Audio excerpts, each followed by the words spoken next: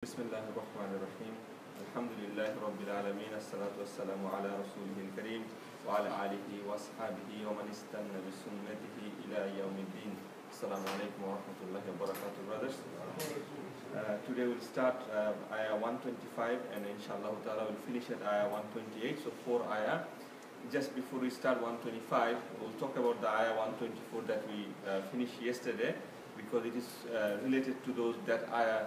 Uh, so we, inshallah ta'ala, we just want to reflect quickly what was that ayah. Basically in ayah 124, Allah brings the story, the mention of Ibrahim salam for the first time in this surah.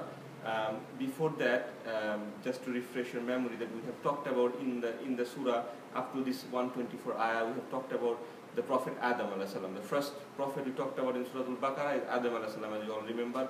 The story of you know Adam uh, that Allah created Adam before Allah created Adam Allah talked to the, the angels. After Adam salam, we talked a lot about Musa salam, the incidents with Bani Israel and everything.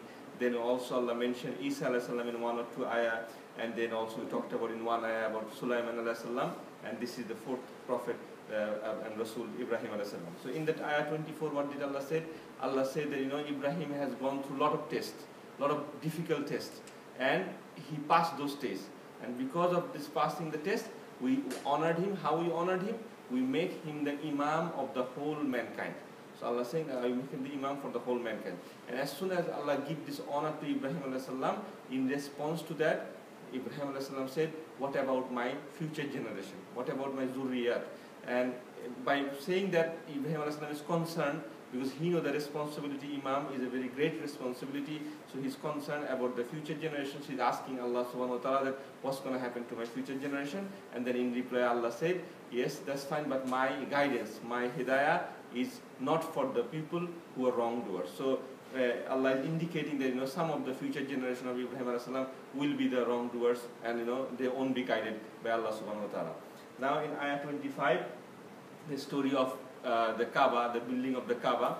Uh, it comes here, and Allah is saying, and remember when we made the house, the Kaaba, a place of resort for mankind and a place of safety. So Allah is saying that you know that Allah has ordered Ibrahim salam and his son Ishmael salam that you know to make the Kaaba a place for security, peace, and prosperity.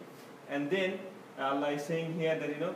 Uh, uh, the Maqam of Ibrahim is all know people who went to Hajj, you know the Maqam of Ibrahim. So this is another honor because Ibrahim is building the Kaaba. He's the main engineer, basically you can say. You know the engineer of the Kaaba. He's the one who's doing this job. Allah has honored him again with one one more time. That you know the Maqam of Ibrahim. You take it, and Allah is telling all the believer, you take that as a musalla. So you pray there, and that's what we do. You know we don't get space there. You know, there's too many people, but at least we uh, you know our intention is there, we face towards that. So Maqam Ibrahim, we pray, we, we take it as a musalla.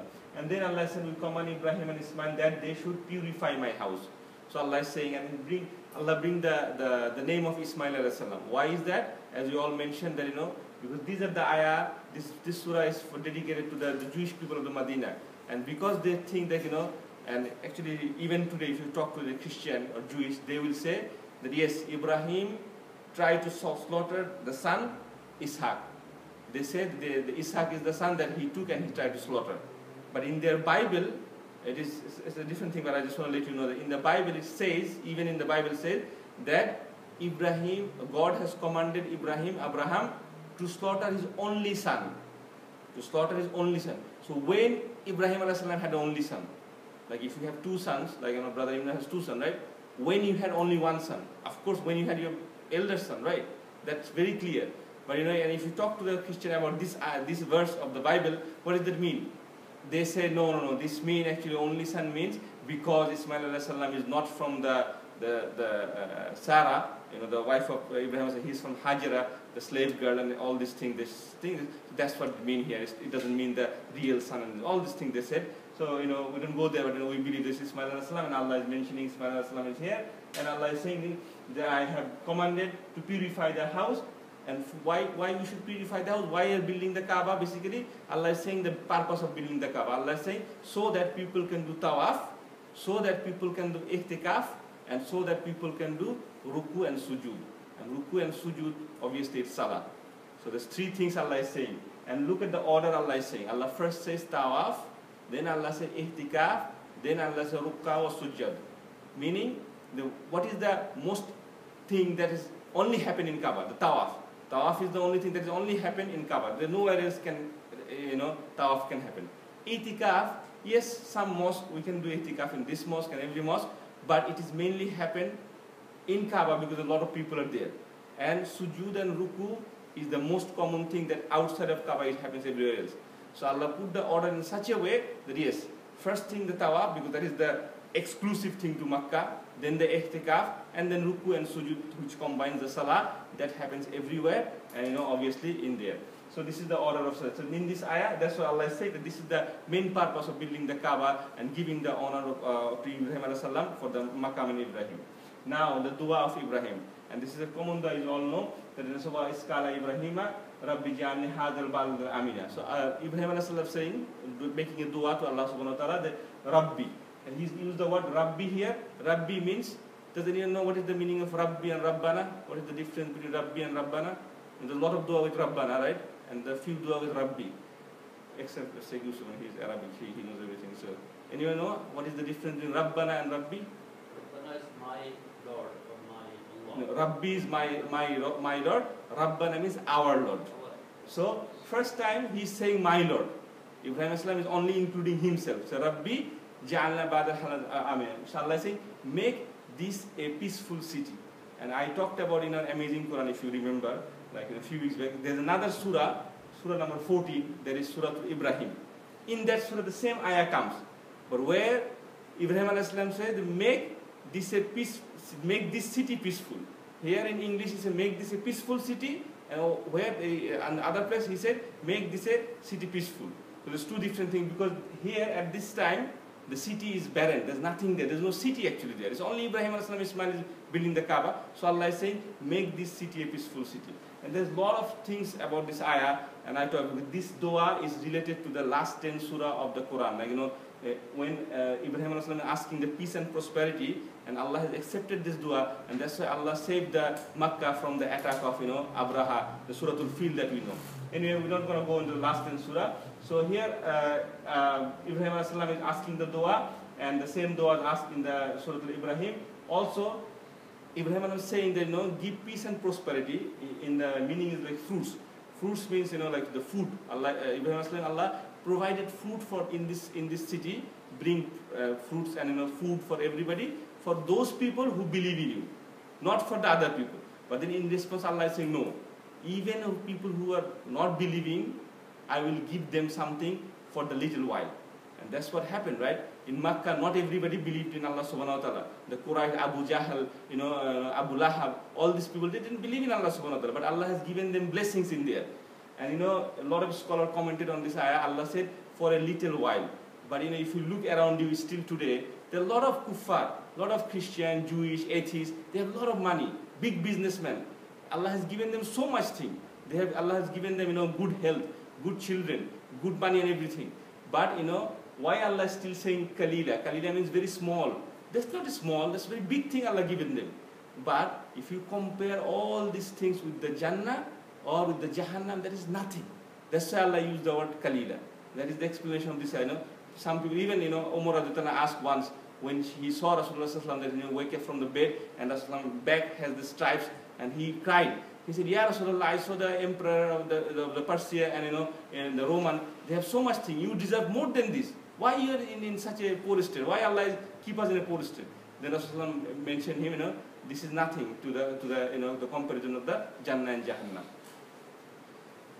In the next ayah, um, Ibrahim also saying, you know, uh, that you know, remember when Ibrahim and his son Ismail were raising the foundation, so they are now building the Kaaba and saying, Our Lord Rabbana. now it says Rabbana because now he's including his son. So now he's saying not my Lord, he's saying our Lord. And except the Rabbana takabbal minna innaka anta samina the, the dua that we always do.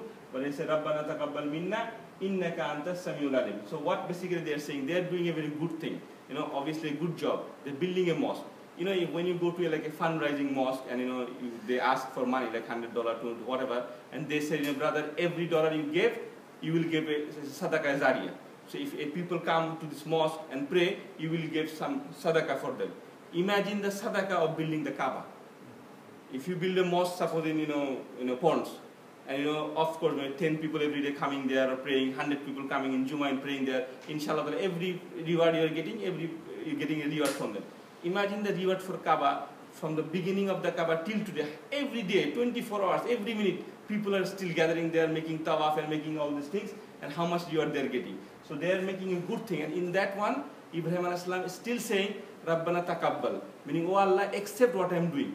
You know, this is such an important ayah, a small ayah, such a, so much thing to say here that, you know, he is doing such a great work, but still he is so much humble to Allah subhanahu wa ta'ala. He's saying that what I am doing maybe is not right. Please Allah accept it from me.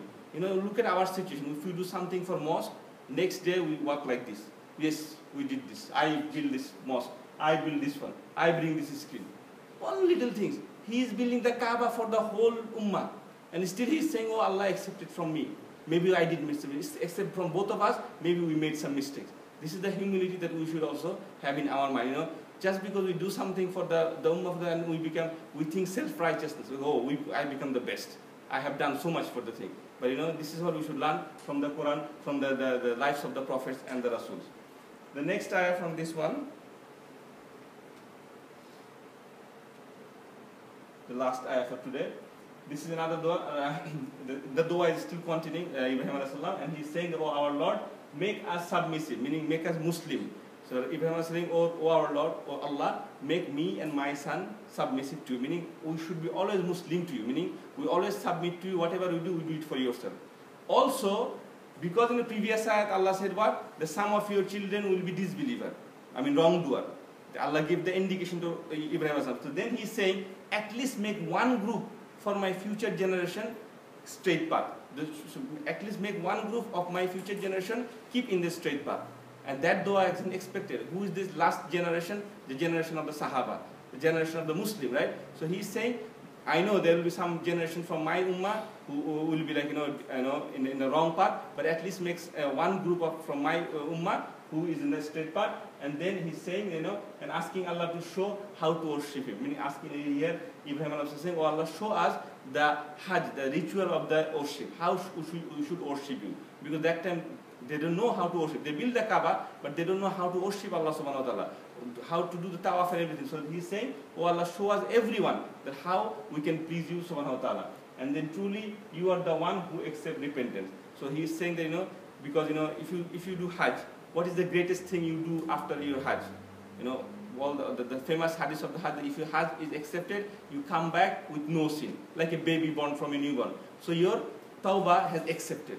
The tawbah is the greatest reward of the Hajj. And that's what is mentioned here, that you know, Ibrahim Allah saying, Allah, accept our dua because innahu tawwabur rahim, because you are the, the, the most honorable and you are the acceptor of the, the, of the repentance. So inshallah we'll finish it here today. The, another ayah after the ayah number 120 and there's another dua. So this whole passage starting from 124 to 129 is the dua of Ibrahim and this dua has so much to do with the life of our Prophet Sallallahu Inshallah, tomorrow we'll see in the ayah number 129, Ibrahim specifically asked a Rasul. He is asking Allah subhanahu wa ta'ala, send a Rasul among ourselves. And that dua is a very famous dua. And that is the acceptance, the dua accepted. And that is the result of Allah sending Rasulullah Wasallam. Imagine what a dua of Ibrahim that his dua was answered by the Prophet Muhammad that Allah sent the best human being, best Rasul, and he sent it to Makkah to fulfill his legacy and to get the uh, deen of Islam. Jazakallah khair. Subhanakallahumma bihamdik. Ashhadu an la ilaha illa anta